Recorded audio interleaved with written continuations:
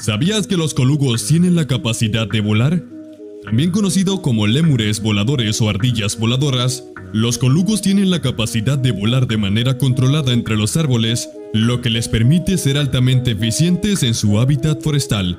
Es una adaptación asombrosa que los distingue del reino animal.